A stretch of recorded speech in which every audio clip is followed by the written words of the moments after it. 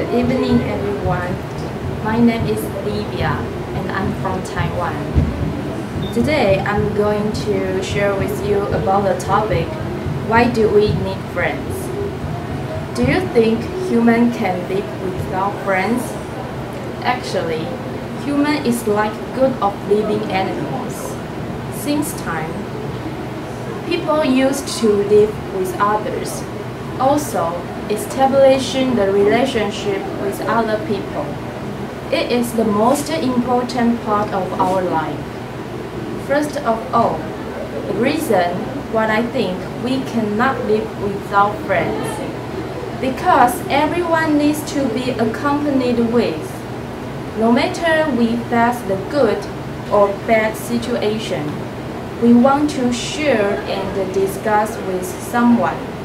At this time, friends are always our spiritual support.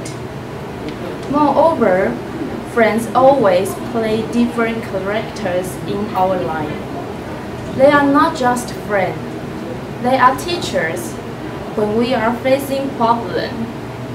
They are not who give us suggestions.